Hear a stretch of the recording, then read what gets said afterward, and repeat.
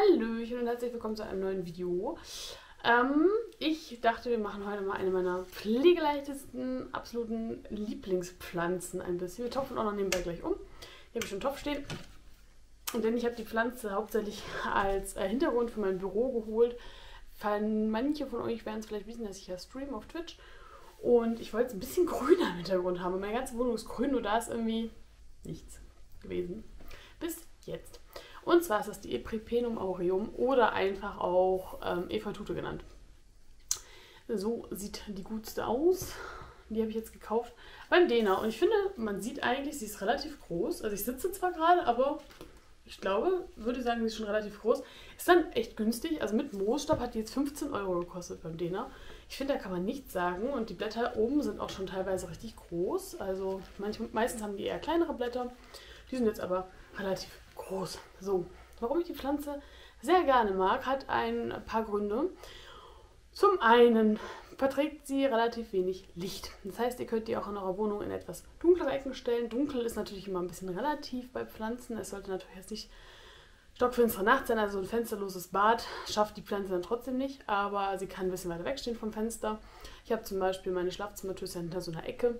Da habe ich zum Beispiel eine, die so die Wand lang ragt. Das äh, finde ich ganz schön. In dem Fall haben wir übrigens hier auch die goldene Efeutute, also die gefleckte Variante. Es gibt mittlerweile auch verschiedene Variationen.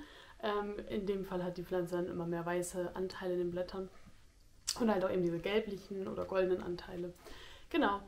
Dann ist es so, dass sie äh, auch die Luft reinhält. Zwar nicht so viel, wie immer in der Werbung gesagt wird. Da wird ja immer gesagt, ja, die filtern die Luft so richtig, richtig gut. Das machen sie schon. Das machen aber auch die meisten Zimmerpflanzen.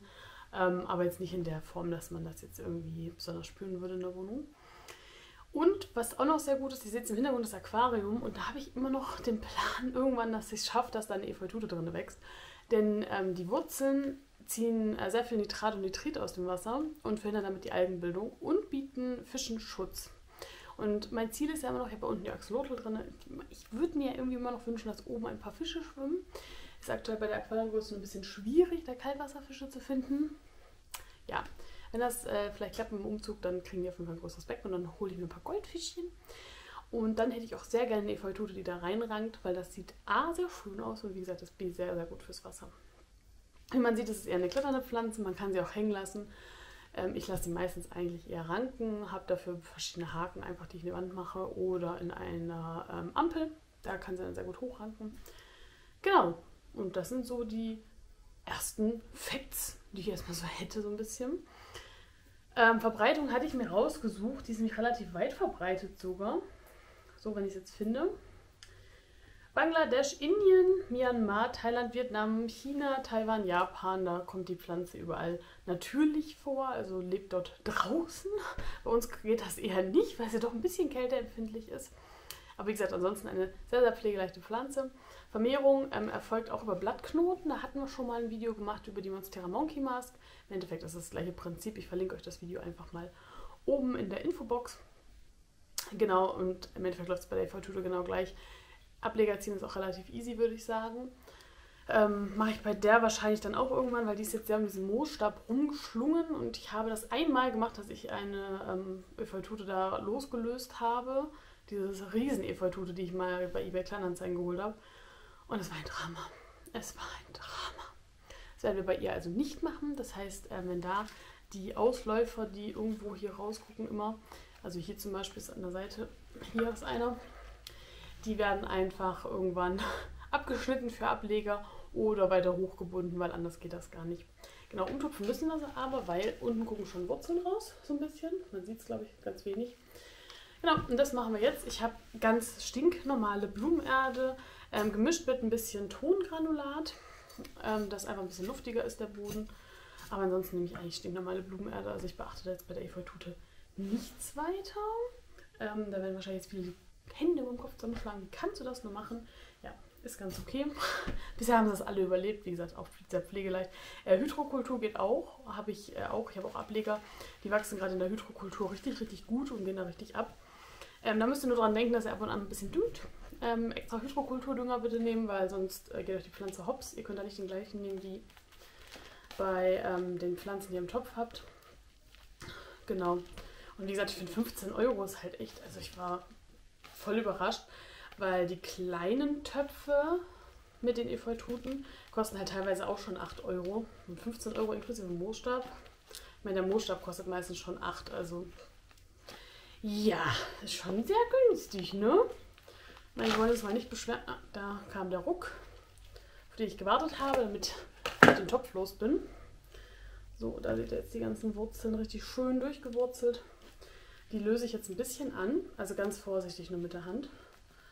Einfach nur, dass die sich gleich in dem neuen Substrat dann schön verwurzeln. Jetzt haben die sich natürlich in dem Topf so zusammengefunden, wie es einfach gepasst hat. Deswegen breche das nur mit der Hand so ein bisschen auf. Das ist auch nicht nur eine Pflanze hier drin. Ich würde mal sagen, das sind fünf, die jetzt hier zusammengebunden wurden. Also wie gesagt, zu dem Preis kann man absolut nichts sagen. Genau. Ich löse es nur so ein bisschen an. Jetzt sieht man mich nicht mehr. Auch nicht schlimm, ne? Schieben wir mal ein bisschen rüber, dass ihr mich wieder ein bisschen seht. Genau. Setzt sie relativ mittig rein. Durch den Reinstab kriegt sie auch genug Stabilität. Die steht nämlich auch schon so, obwohl da gar keine Erde drumherum ist. Und ähm, hier habe ich mir schon ein Töpfchen geholt mit frischer Blumenerde. Ähm, bei den aktuellen Temperaturen solltet ihr die Blumenerde draußen lagern. Ich meine, es ist noch nicht so kalt. Ähm, bei mir hat es zumindest noch nicht geschneit. Falls es bei euch geschneit hat, freut es mich sehr für euch. Ich bin auch nur minimal neidisch. Dafür ernte ich noch Tomaten vom Balkon. So hat halt jeder seine Vorteile, ne? Ähm, genau, wenn ihr die Erde draußen stehen habt auf dem Balkon, dann holt die bitte vorm Umtopfen äh, ein paar Stunden vorher schon rein. Am besten den Abend vorher, wenn es geht. Weil wenn die so kalt ist, das ist immer nichts für die Pflanzen. So wirklich. Jetzt muss ich mal gerade gucken. Ah, so sieht so frische Blumenerde. Das war auf jeden Fall welche aus dem Kompost, wo noch nicht so alles verwertet war. Aber ist kein Thema. Müssen gleich eh noch aufräumen. Hm, das ist auch wurscht. Genau, jetzt fülle ich das einfach nur mit neuer Erde alles auf. Dann kriegt die Pflanze auch noch, ähm, wie alle meine Pflanzen, ein Careo-Rosenstäbchen. Beziehungsweise habe ich gar kein Careo mehr. Ich hole das gleich mal und zeige euch das mal. Das ist jetzt was anderes wie Careo. Ähm, das wurde mir jetzt empfohlen, weil Careo-Stäbchen hat wohl gerade keine Zulassung mehr. Die haben ja dieses Spray, das kennt ihr glaube ich alle, was ich total ungern benutze, seit ich Katzen habe. Ich habe es vorher auch schon sehr ungern benutzt, muss ich sagen, weil meine eigene Lunge ist mir dann auch ähm, recht wichtig. Ich weiß, manche überrascht es vielleicht, aber ich hänge an meiner Lunge.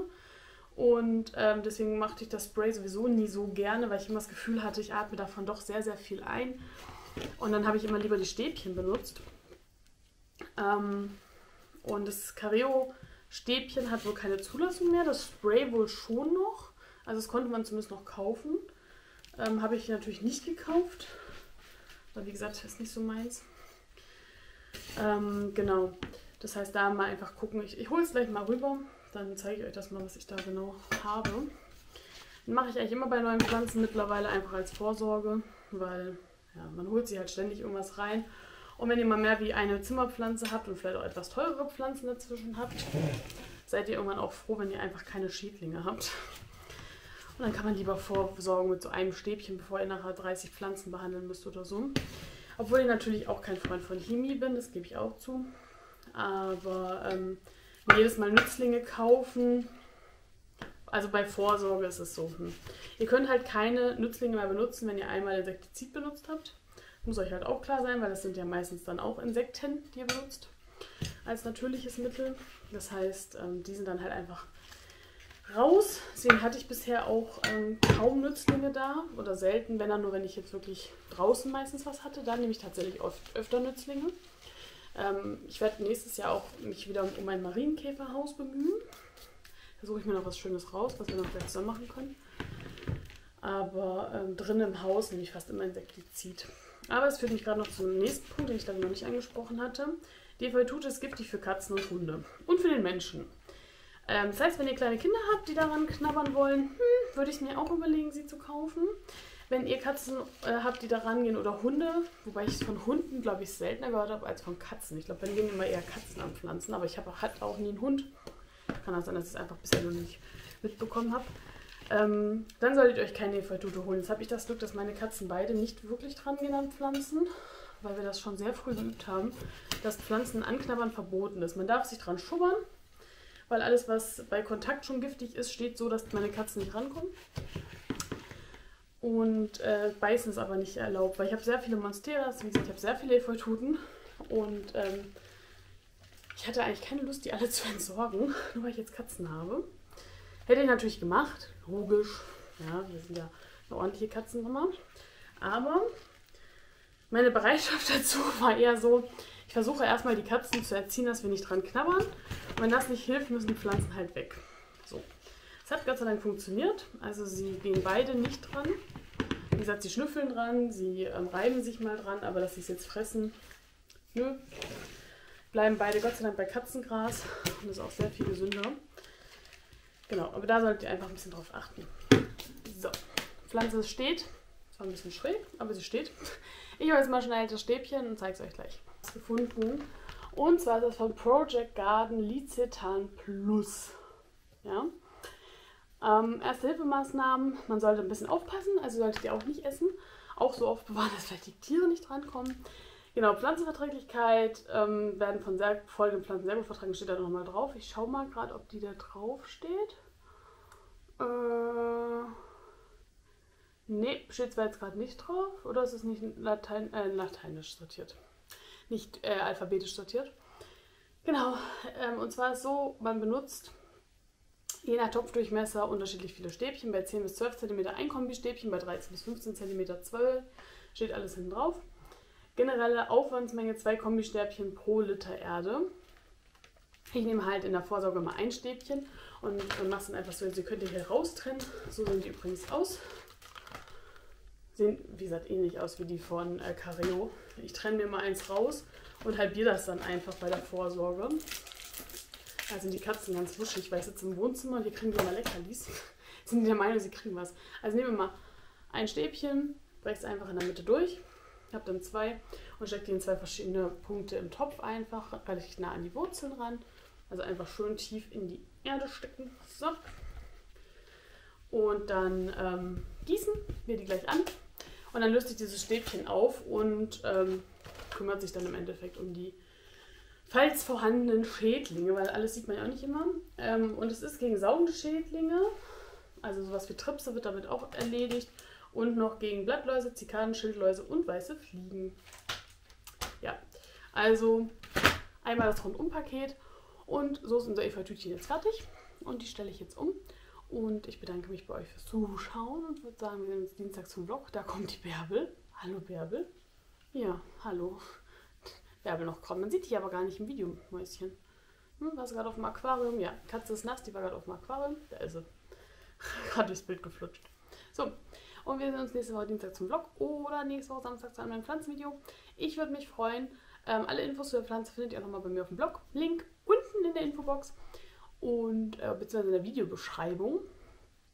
Und äh, bis nächste Woche.